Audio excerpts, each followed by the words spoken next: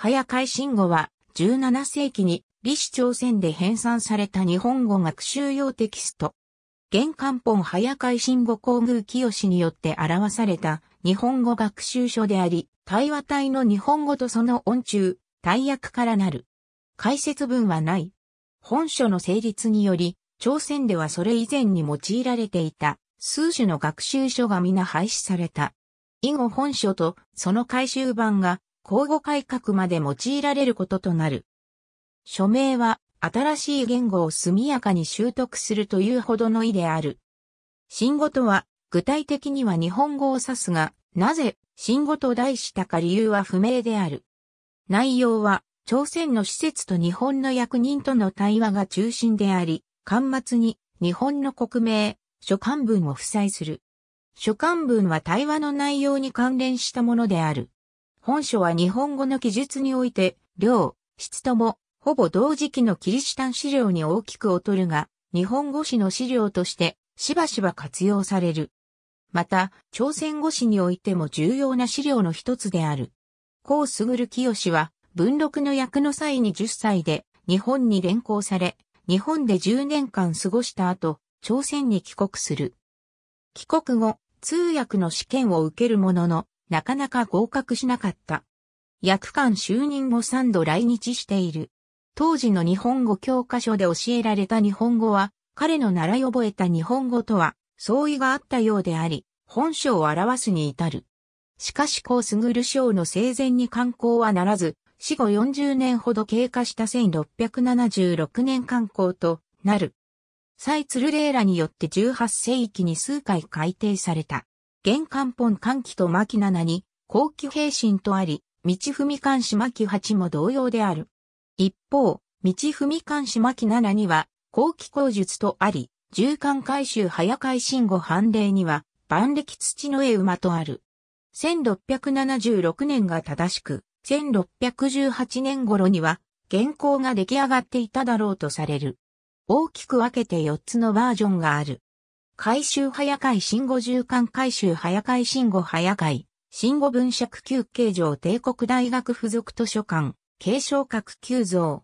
後期15年平身毛頭会館の換気がある。全10巻、活字版。本行中央に、ひらがな漢字混じり文の日本語、右に、ハングルによる発音表記を付し、語句の切れ目ごとに2行割り中で、ハングル漢字混じり文による朝鮮語訳が記されている。本文の文字の書体は、稚拙という評価がある。県流母神、蔡鶴霊によって改定されたものである。回収早改新語とある。本書が発見されるまで、自公の重巻回収本が、回収早改新語とされていた。全十巻。ただし巻十は、上中下に分冊。朝鮮語訳が本業の左ロビになり、区の区切りは丸印を使っている。対話の人物を主、客と表示し、分け、込み出しを付してある。半長の行数が6行から4行に減って文字が大きくなっている。本文の表現はだいぶ改められている。蔡鶴霊によって1762年に第二次改定がなされ、県流新中に重刊されたのが、重刊改修早改新語である。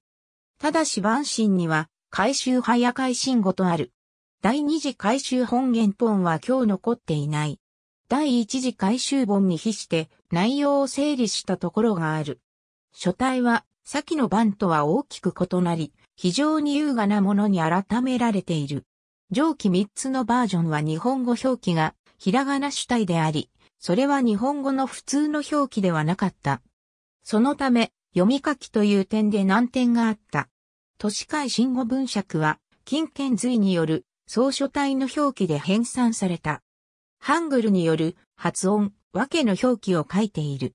ハングルは、項の六郎式に近いアルファベット表記で示す。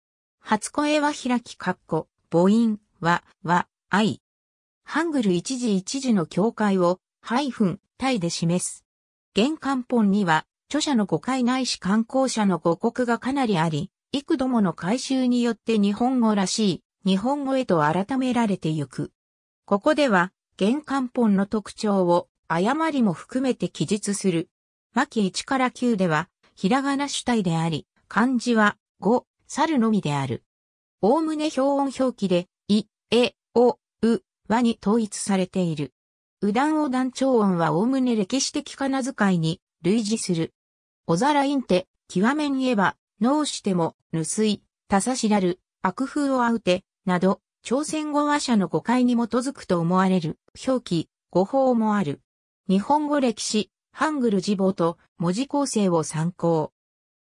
猿と特殊なハングル、孟子、お団長音は王、U に統一され、開け合いが書き分けられておらず、かな表記で書き分けられているのと食い違っている。なお、猿の発音を表すハングルは、母音、王と U を一時に収めるといった朝鮮語では見られない文字を採用している。枝音は U もしくは Y によって表記されており、ほぼ同時期のキリシタン資料で、絵が、家と表記されたのと、同様、樹のような発音を表したと推測される。ただしケテメレなども地位のように表記されている点が注目される。濁音は、語頭以外の場合、前の音節末に M、N を補う。そのため、バチ音濁音や発音静音の場合と区別がつかない。語頭の濁音は、初声に M、N を波書した特殊な表記を採用している。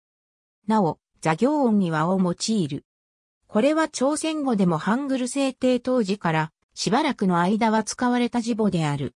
語と特殊なハングル、KO、ハングルは有性無性の区別ができないので、ジョアン・ロドリゲスが大文典で指摘したような濁音前の微音の存在を即表しているとは言えないかもしれない。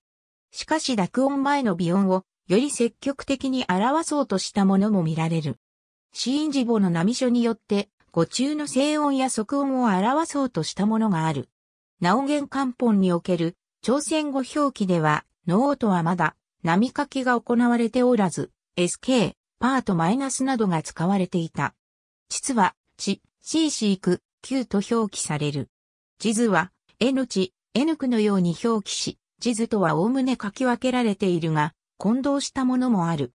当時の京都で、すでに混同が起こっていたことを反映するとみられる。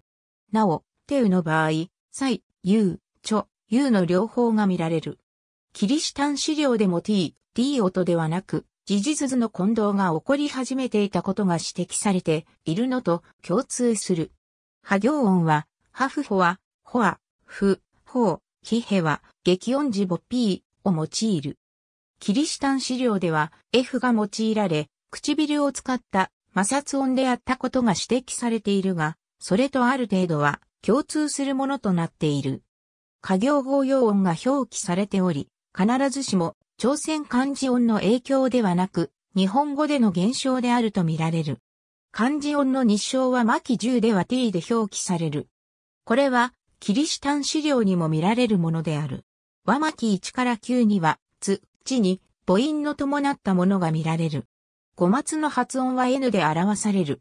朝鮮漢字音で M が期待されるものでも同様である。